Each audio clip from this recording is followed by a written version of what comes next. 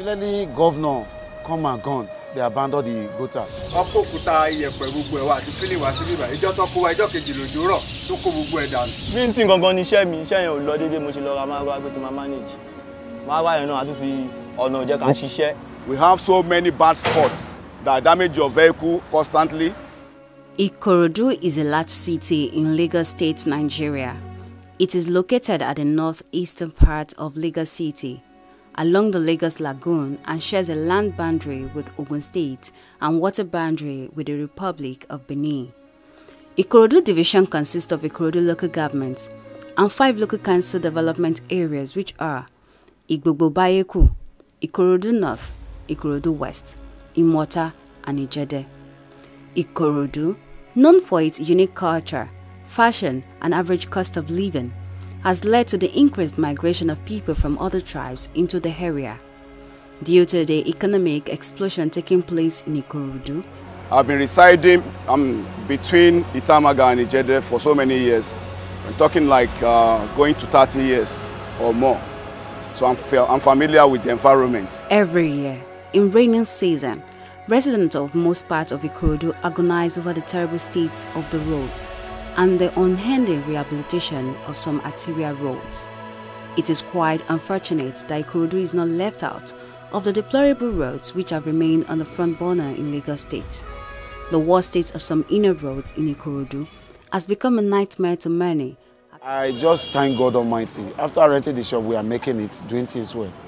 Suddenly, when they dig this gutter up to this place, as they are doing the roads, they started rushing one center that governor is coming. Immediately, governor come and gone, they abandon the gutter. They stop it at the front of this place we are seeing. So after some days, we are expecting them, after demolition, we think that it's something of seven days, becomes something of three months. So one day, at all the 24, heavy rainfall. So we came to shop on Monday. Our coming to the shop is to work. So my children, I dropped them in the shop. I said they should look at the shop. So the wire that we are using to plug the extension we are using to breeze now destroy it. So my way of my son bringing the wire, try to escape everything on the ground. The gutter now slope him on the ground. And that is where wire now shock him. That very time, I got out, but a man, you have to face because I spent money up to six days before the child give up. The worst state of some inner roads in Ikorodu has become a nightmare to many as short trips now turn a long journey within the town. This act has crippled businesses, discouraged existing and prospective investors, chased landowners from their homes, and driven able-bodied personalities into a state of trauma.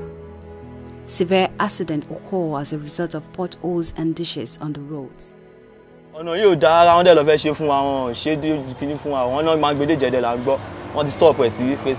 so mi mọ problem o. bí tí gangan ní iṣẹ́ mi iṣẹ́ yẹn ò lọ déédéé mo ṣe lọ ra máa wá pé kí n manage.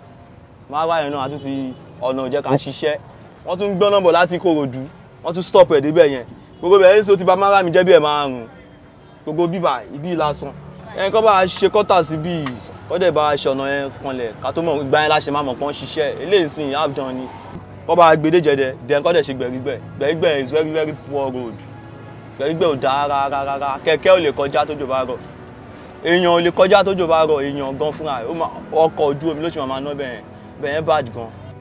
Ikorodu is heavily dominated by the Yoruba people.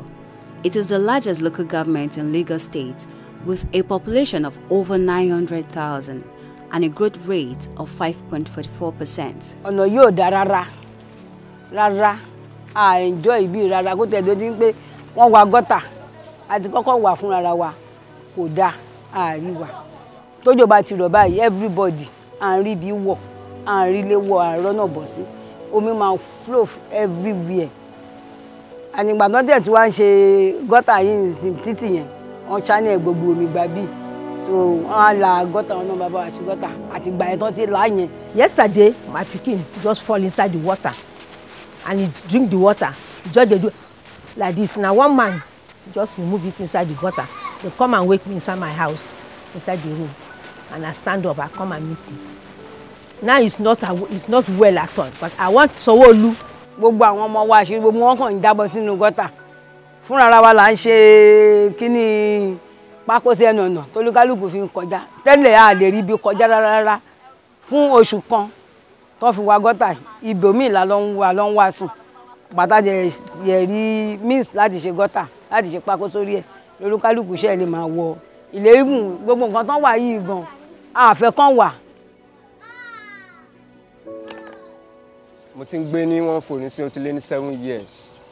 Àtìgbà yẹn ni ọ̀nà yóò ti dáa àwọn kan jẹ́ ti gbé soundboard wá sí gbẹ̀rí one phone mi bàtọ́ lọ́wọ́ fẹ́ ṣe ọ̀nà wọ́n ò rí nǹkan kan ṣe rárá rárá. Àwọn cda ló dáwó. Ọkọ̀ òkúta iyẹ̀pẹ̀ gbogbo ẹ̀ wá àti fílì wá sí bíbá ìjọ́ tó kó wa ìjọ́ kejì lòjò rọ̀ tó kó gbogbo ẹ̀ dànù lórí títì. Ó yẹ ti sú wa. Mọ́tò ráyè kọjá mọ́ àárọ̀ kò sọ́jà kò sí nǹkan kan. Kódà ìtaba jáde kó lè rárọ tá àrówó múlẹ̀ nílé ìyàwó gan ti fẹ́ ṣe kí ló ti fẹ́ sá lọ. Àrówó fún ìyàwó ńlé mọ́ ó ti sú wa kọjọ́ kó wá bá a ṣọ̀nà yẹn. Ó ti sú wa kó má yẹ jẹ́gbà yẹn la máa ṣe kí ni la máa kó gáàngì jọ tá a tún máa ṣe nǹkan tí tá a máa tún ní àtún bẹ̀rẹ̀ sí ń jalè káàkiri ó ti sú wa kọjọ́ torí ọlọ́run kó wá bá wa ṣe o. The typical workday of an Ikorodu resident begins at 4 a.m., while for some as early as 3 a.m., leaving minimal time to attend to personal hygiene, family, and vital environmental responsibility. Um, I go to work every day. That's my normal routine. I leave from here every morning, sometimes as early as 6. So, and I come back sometimes as late as 7 from here to Ikorodu and then oftentimes out of Ikorodu. Without mincing words, it is necessary to point out that under this present administration of Governor Babajide Sowolu, the roads in some areas have been worked on and well improved. Such areas are Otaono, Chodero link to Aruna, some parts of Igbilara, and Oreyo Igbobo, while several others which are under constructions are Ikpakodo Road, Igbe Lara, and Ijede Road.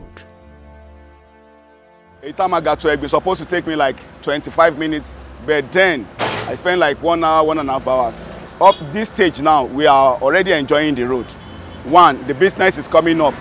Two, our vehicle did not go to mechanic every day again. But with what we are seeing now, as in when they started, I was like, "Hmm, it's the usual thing, Jare, they will not finish it. But glory to God though, ah, they actually tried. Seeing what they have done. Each time I get, I'm like, ah, these people, have they stopped again? Won't they continue this job? At least let them complete it because any food that, anything that is worth doing is actually worth doing well. níta fẹ́ kọ́ bá wa ṣe nísìn kíjọba jọ nítorí ọlọ́run kọ́ lọ gbogbo àwọn táwa bíi lọ́wọ́ tó bólà la wà street ògbèlò tó ní bíi kọ́ ràn wá lọ́wọ́ kọ́ bá wa ṣe títì kọ́ bá ṣe gọ́tà wa. Ikorodu can maintain its glory if these bad roads are fixed, well developed, and properly maintained to reduce travel time and access to local markets, workplaces, educational institutions, medical and health services. Likewise, availability of more jetties at existing ferry terminals within the town will go miles to encourage residents to use the waterways without fear, and these will decongest the constant gridlock on the roads.